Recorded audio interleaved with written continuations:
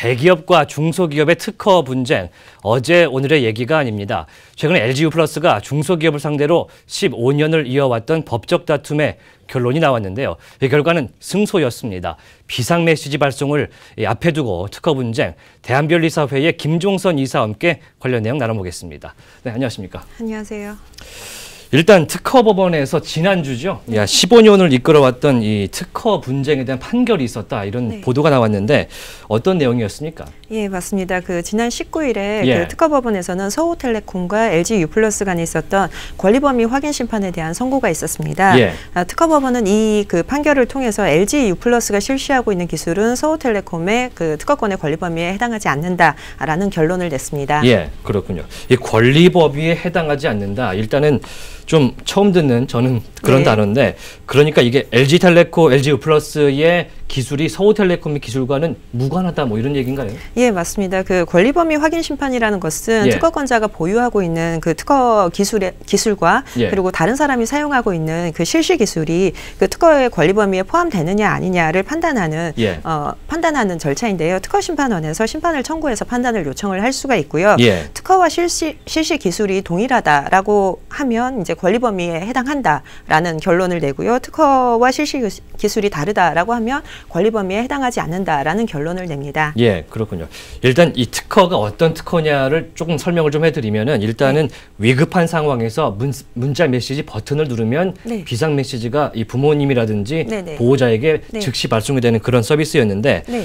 이 특허를 침해했다라고 이제 표현을 할 때 침해 소송을 제기하고 법원에서 판단을 하면 된- 되겠다 이렇게 생각을 네. 했는데 특허 심판원이라는 곳을 또 통하는군요. 이게 맞습니다. 예. 그 권리범위 확인 심판은 보통 이제 특허에 대한 침해 이슈가 있을 때 예. 심판원에 심판을 청구해서 판단을 받는 것인데요. 예. 그 법원을 통한 그 침해 소송에 비해서 비교적 그 비용이 저렴하고요. 그리고 어, 판단을 받기까지 걸리는 시간이 굉장히 짧습니다. 아, 그리고 국가기관에 의한 판단이기 때문에 공신력이 있는 판단이고요. 예. 아, 그래서 침해 소송을 제기하기 이전에 아, 좀 더 빨리 그 결론을 받아보고 당사자 간의 합의를 빨리 도출할 수 있다라는 점에서 많이 활용이 되고 있습니다. 네. 아, 다만 그 어, 나중에 그 침해에 해당할 수 있다라는 판단이 나올 경우에는 손해배상이나 이런 부분에 대해서 다시 소송으로 비화가 될 수도 있기 때문에 이런 부분도 고려는 되어야 될 것 같습니다. 네, 특허 심판원과 이 소송 법원은 좀 다른 거다 이런 생각 네. 예, 그런 말씀이신데 네. 일단 다시 U 플러스로 돌아가서 보면요. 네네.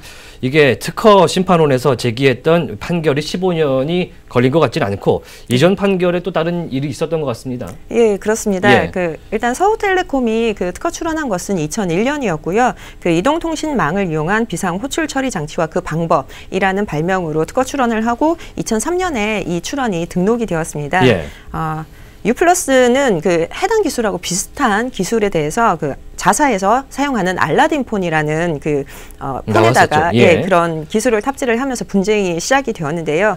어, 서울텔레콤에서는 유플러스가 자신들의 특허를 침해했다라고 주장을 하고 있고 유플러스는 오히려 따- 서울텔레콤이 보유하고 있는 특허가 무효 사유가 있다라고 주장을 했습니다. 예. 아, 그러면서 이제 서로 어, 침해 소송 그리고 무효 심판 무효 심판을 어, 청구를 하고 예, 이런 분쟁들이 계속이 되었었는데요. 예. 이 무효 심판에 대해서는 3심까지 진행이 되면서 결국 대법원에서는 서울텔레콤이 보유하고 있는 특허가 유효하다라는 유효하다. 네 판단을 내렸고요. 어, 또, 그러나 한편으로는 유플러스에서 실시하고 있는 기술, 즉 알라딘 폰에 탑재된 기술은 서울텔레콤의 권리 범위에는 해당하지 않는다라는 판단을 내렸습니다. 네. 어. 그래서 특허권의 권리 범위에 속하지 않는 기술이니 또 특허권을 침해하지 않는다라는 판단도 내렸죠.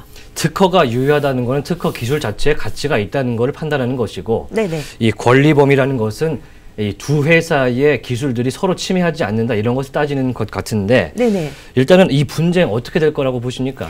예, 어, 일단 15년 동안 예. 이어져 온 분쟁이고 이번 특허법원의 판단이 확정된 판결은 아니기 때문에 아마도 그 서울텔레콤에서 다시 대법원에 상고를 하게 되지 않을까 그 추측이 되고요. 예. 아, 다만 그 서울텔레콤에서 보유하고 있는 특허의 그 존속 기간이 2021년으로 만료하게 됩니다. 예. 아, 그리고 유플러스에서는 알라딘 폰을 더 이상 판매하고 있지 않기 때문에 사실 특허 분쟁에 그동안 소요된 기간이나 비용을 생각을 하게 되면은 설령 대법원에서 그 서울텔레콤에 손을 들어준다라고 하더라도 크게 실익은 없을 것 같습니다만 네. 그 대법원의 판결이 나올 때까지 이어지지 않을까라는 생각입니다. 일단 이 기술 자체의 목적이 굉장히 공익적인 목적이었기 때문에 네. 이런 15년의 분쟁이 의미가 있을까라는 이 뒤돌아보는 그런 생각이 좀 드는군요. 알겠습니다. 지금까지 대한변리사회의 김종선 이사와 이 특허 분쟁 관련해서 이야기 나눠봤습니다.